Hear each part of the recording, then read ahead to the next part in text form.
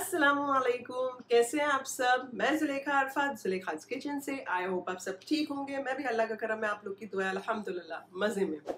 सो so, आज हम क्या बना रहे हैं? आज मैं बना रही हूँ टर्किश चिकन बहुत ही मज़ेदार और बढ़िया सी रेसिपी आप ज़रूर बनाइएगा। इंजॉय भी करेंगे आप बना के। तो चलिए बनाते हैं। क्विकली आज की रेसिपी विदाउट टाइम वेस्ट किए। साधारण यानी ऑर्डिनरी इंग्रेडिएंट से एक्स्ट्रा ऑर्डिनरी डिश बनाते हैं आज की। चलिए।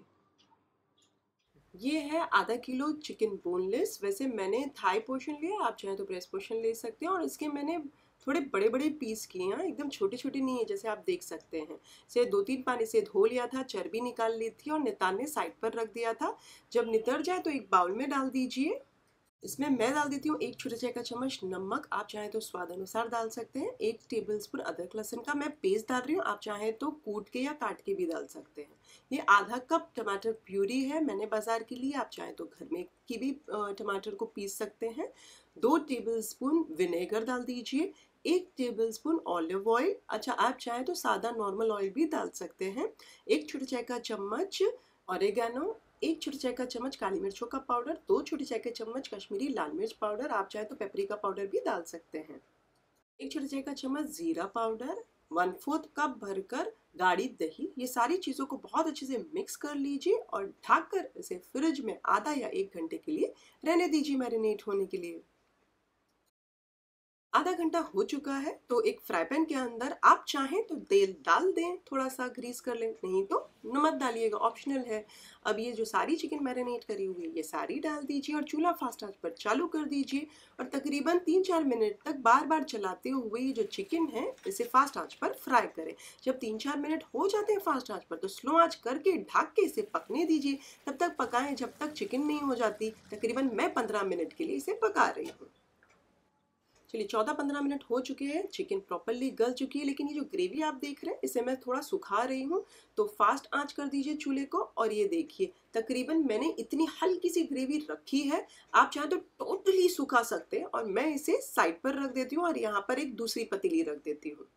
आप चाहें तो फ्राई पैन ले सकते हैं, मैं कढ़ाई ले रही हूँ। डेढ़ टेबल स्पून मक्खन, यानी कि बटर डाल दीजिए। चूल्हा फास्ट आँच पर चालू कर दीजिए। जब मेल्ट हो जाए तो डेढ़ टेबल स्पून मैदा डाल दीजिए। मैं चूल्हा स्लो कर देती हूँ। कंटिन्यूस इसे चलाते रहे बार बार चलाते हुए इसे तकरीबन मैं स्लो पर तीन मिनट पका रही हूँ तीन साढ़े तीन मिनट अगर आप मीडियम आँच करना चाहें तो आप मीडियम आँच कर सकते हैं लेकिन उस सूरत में समझिए ना दो ढाई मिनट के अंदर ये पक जाएगा। जब अच्छे से भून जाए ये हमारी आ, मैदा तो इसमें डाल दीजिए सवा कप दूध। यहाँ पर सवा कप दूध डालने के बाद मैं थोड़ा सा मीडियम आँच कर देती हूँ चूल्हे को सो दैट इसमें एक हल्का सा उबाल आ जाने लगे।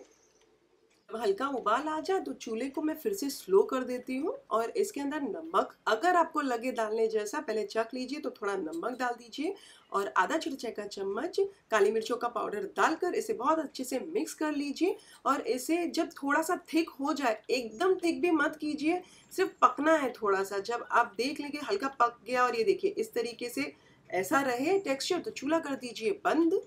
जो चिकन वाला फ्राई पैन है, वो फिर से यहाँ ले लेती हूँ मैं और इसे फास्ट आँच पर चूल्हा चालू कर दीजिए और इसे हल्का गर्म कर लीजिए। देखिए थोड़ा सा गर्म हो गया ना यहाँ पर। मैं यहाँ जैसे आप देख सकते हैं हल्का हल्का चिटका हुआ ग्रेवी रखी हूँ। आप चाहे तो पूरी तरीके से सुखा भी सकते हैं इसको।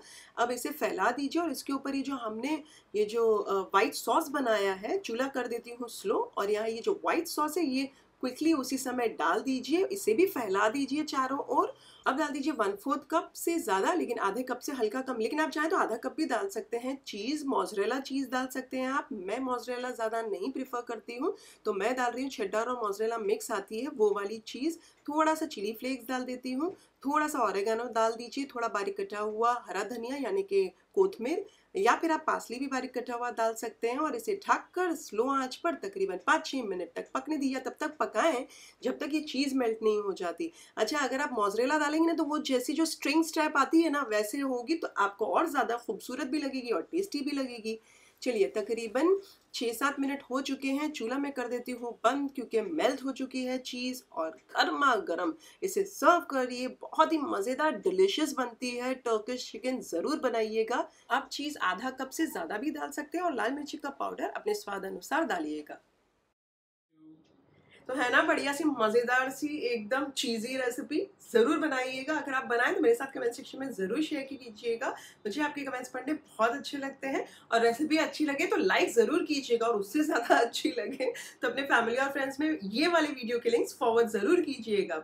फिर से हाजिर होंगे एक नई शानदार, दमदार रेसिपी के साथ। अंटिल देन टेक केयर अल्लाह हाफिज़। Bye bye